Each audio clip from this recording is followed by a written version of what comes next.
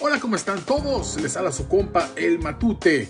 A continuación les voy a presentar a un nuevo colaborador que va a estar aquí en el canal hablando del equipo más poderoso del fútbol mexicano. Su nombre es José, mejor conocido como Montoys. Aquí están a continuación nuestras opiniones acerca de la victoria del América.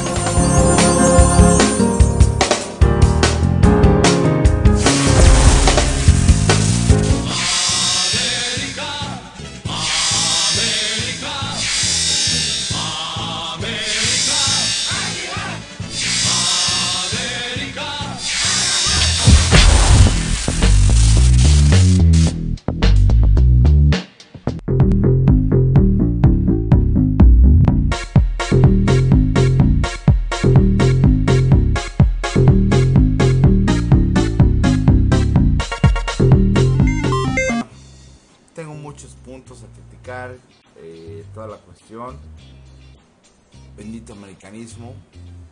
Hay cosas buenas, hay cosas malas. Pero bueno, en especial el partido de, del día de ayer en contra del, San Luis. Mm, creo que sí. El América hizo lo que tuvo que hacer y el San Luis retuvo lo que tuvo que hacer. Fue una actuación mediocre de, de parte del San Luis. Pero pues bueno, esto es a goles, estas, eh, ¿cómo se llama? Las situaciones se ganan no por el equipo que llegue más en, ocasiones y lo que ustedes digan. Eh, bendito fútbol, creo que hubo justicia. El América, eh, después del partido del Guadalajara contra el Monterrey, sí nos beneficia en, algunas este, circunstancias, pero pues bueno, no pasa nada, señores. El América va a lograr, creo yo, que un buen, buen torneo, un bicampeonato y cosas así. Entonces, este, saludos, eh, mis comparaciones. No me he podido presentar continuamente dentro del canal porque pues, lamentablemente por temas de trabajo ah, es un poquito difícil. Me disculpo antes eh, Netflix eh, con César, eh, el principal artífice de, de lo que es el canal. Pero pues bueno, recuerden señores, eh, la América juega en caliente y nosotros jugamos con caliente la máxima casa de apuestas en las en Estados Unidos, México, lo que ustedes quieran. Sale Eh, los mejores deseos y de aquí para allá vamos.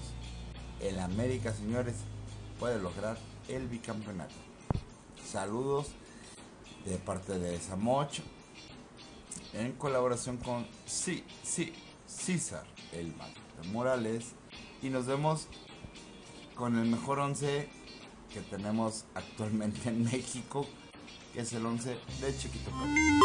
En este partido, las Águilas del América le hicieron los honores al Atlético de San Luis en el Estadio Azteca. Un América el cual dio rotación a su plantel ya que tienen eh, partido a mitad de semana. Por ahí alineando al joven delantero Ilian Hernández que desgraciadamente salió lesionado. Un Atlético de San Luis el cual le plantó cara, le hizo partido al campeón América y este tuvo sus posibilidades en el partido. Por ahí me atrevo a decir que haciendo figura, haciendo factor al portero del América Malagón, el cual tuvo unas extraordinarias atajadas y pues lógicamente Televisa ya lo está promoviendo para lo que es la selección nacional. Y cuidado ahí americanistas, ojo con la defensa ahí con Araujo lentísimo ahí presentando algunos problemas en lo que sería el sector defensivo. Esto es un contra de lo que menciono, es un contra de la rotación de plantel que muchas veces hace que te destabilices en lo que sería el ritmo de juego, pues ahí una clara, un claro ejemplo sería la rotación, sería ahí la defensa central con Araujo que es lentísimo, que falta hizo Igor Lichnowsky, el chileno que tuvo su juego en la fecha FIFA. Lógicamente le dieron descanso, pero pues ahí mucho cuidado americanistas con su defensa que hace agua. Un San Luis que como repito lo luchó, lo peleó y dio pelea a el campeón mexicano las Águilas del la América que con una diferencia de plantel pues la verdad hubo ocasiones que esa diferencia no se notó.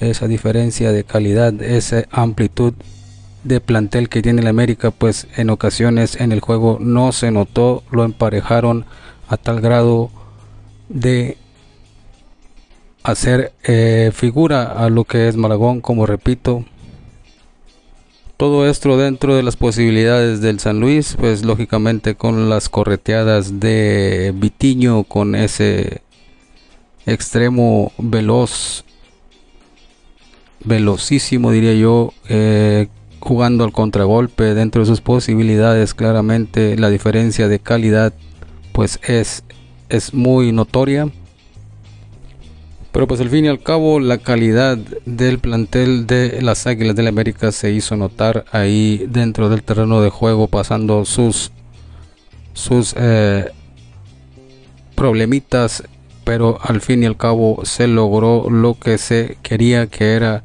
ganar el juego. Esta ocasión lo ganaron 2 eh, a 1 y bueno vámonos con los goles. El primer gol por parte del América lo marcó Diego Valdés el 10 del América, ese jugador que hoy por hoy hace diferencia a pase de Kevin Álvarez. Bueno, ese fue el gol que abrió el marcador. Mientras tanto, el segundo tanto lo marcó eh, Brian Rodríguez, el rayito a pase de Henry Martin, ahí dentro del área jugando de poste. Henry Martin, que es una de las cosas que hace excelentemente bien este delantero mexicano. Jugar de poste, la verdad que sí se le da muy, muy bien mientras que el descuento para el Atlético de San Luis lo marcó el delantero Frank Boli ahí vía penal, un penal cometido por eh, Jonathan Dos Santos, el hermano de Giovanni, ese jugador que está siendo muy solvente ahí en la media cancha junto con el maguito Fidalgo, un, un medio de contención muy muy efectivo, la verdad que sí pues bueno, ahí quedó el descuento por parte del Atlético de San Luis, 2 eh, a 1, que la verdad eh, para mi punto de opinión, pues eh, un San Luis que merecía un poquito más, un poquitito más de lo que se llevó. De lo que se llevó, pues en esta ocasión se fue con cero puntos del Estadio Azteca. La verdad que plantó muy, muy buena cara.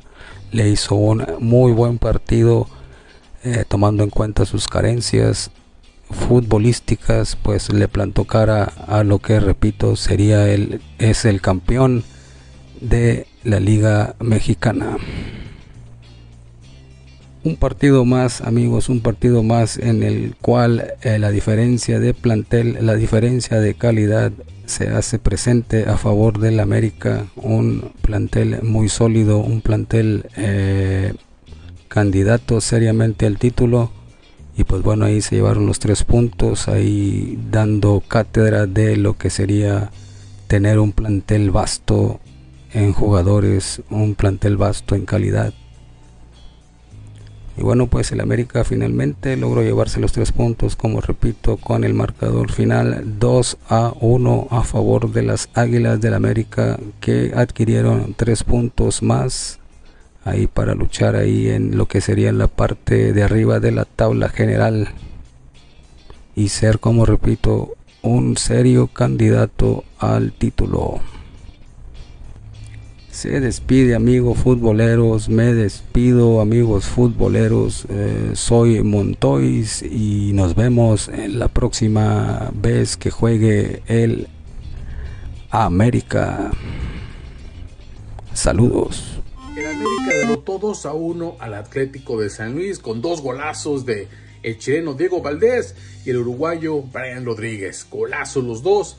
El América hasta el momento es líder de la tabla general en este clausura 2024 con 28 puntos, mismos puntos que Monterrey. Así es. Y pues el América en la jornada número 13 tuvo una victoria contundente. Realmente fue un gran partido de fútbol se viene la CONCACAF Champions Cup, en donde se va a enfrentar al New England, un equipo de la Major League Soccer. Buena suerte para la América en esos cuartos de final. Y pues la América está jugando muy bien, líder. La verdad me gustó mucho el funcionamiento de Jardiné con el equipo, todo muy bien. La verdad no hay nada que quejarse. Este equipo va muy bien. Y pues quiero también darle la bienvenida a José Montois, como es mejor conocido en las redes sociales. Y pues también gran conocedor del fútbol mexicano. Bienvenido compadre. Y pues vayan por favor a la tienda deportiva de mi compadre Ángel Deportes Reynoso y también a caliente.mx, la casa de apuestas del fútbol mexicano. Saludos para todos ustedes y nos vemos hasta la próxima. Chao. Sí, sí, sí. Les invito a que chequen la tienda deportiva. Productos del fútbol mexicano y del fútbol internacional. Deportes Reynoso. Estas son sus redes sociales. Deportes.reynoso en Snapchat. Deportes Reynoso en Facebook. Arroba Ángel-Omar-Reynoso en Instagram. Y su teléfono es el área 408-706-4933. Deportes Reynoso.